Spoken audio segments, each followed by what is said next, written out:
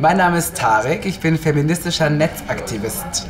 Ja, der Prozess zum Bloggen war, äh, oder zum Vloggen, war relativ lang. Ähm, ich glaube, begonnen hat das Ganze, dass ich meine Erzieherausbildung gemacht habe und äh, da einfach dann gesehen habe, wie früh kleine Jungs, kleine Mädchen in so ein äh, Geschlechts-Gender-Korsett irgendwie gedrängt werden, was ich einfach ja, Horror fand. Und das war, glaube ich, so der erste Moment, wo ich gemerkt habe, na hoppala, ich bin, glaube ich, ein Feminist, so, weil ich war da schon immer, aber ich habe nie dieses Label für mich irgendwie in Anspruch genommen. Und dann habe ich halt ähm, Medienwissenschaften studiert, Gender Studies im Nebenfach.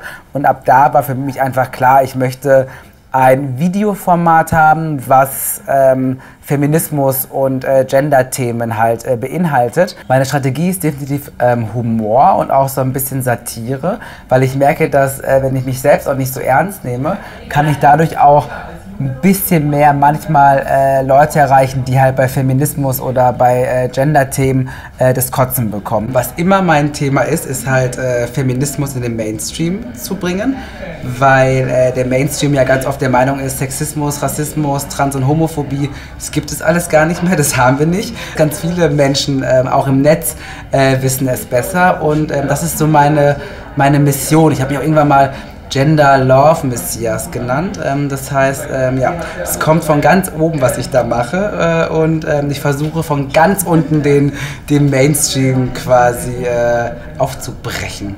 Also ich moderiere jetzt auch ähm, ein Online-Format fürs ZDF. Das heißt, ähm, ohne die Genderkrise wäre das auch nicht passiert. Ähm, also auch der Mainstream ist auch langsam bereit für diese ganzen Themen und ähm, ja, ich finde es ganz cool, da äh, auch mit dabei zu sein. Aber das heißt noch lange nicht, dass ähm, andere Menschen das halt auch können. Transmenschen, ähm, Muslime mit Kopftuch, ohne Kopftuch oder was auch immer. Ne? Also ich bin gerade auch so ein bisschen mehr so auf dem Trip, auch anderen Menschen einfach Raum, Space, sichere Räume zu bieten, um halt ihre, ihre Meinungen, ihre Statements halt in die Welt zu posaunen. Ich meine, wie geil hätte ich das als Kind gefunden, zum Beispiel, wenn es eine schwarze Tagesschau-Moderatorin gegeben hätte.